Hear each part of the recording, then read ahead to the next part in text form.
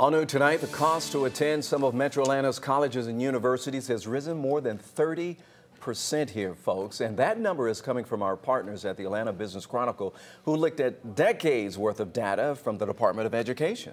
Here in Georgia, three private schools top the list of the state's most expensive colleges.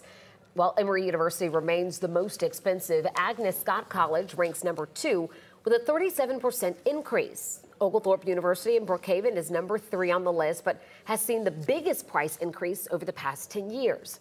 Meanwhile, Georgia's public colleges saw much smaller price increases. The cost of attending UGA or Georgia Tech only went up 18% over the past 10 years.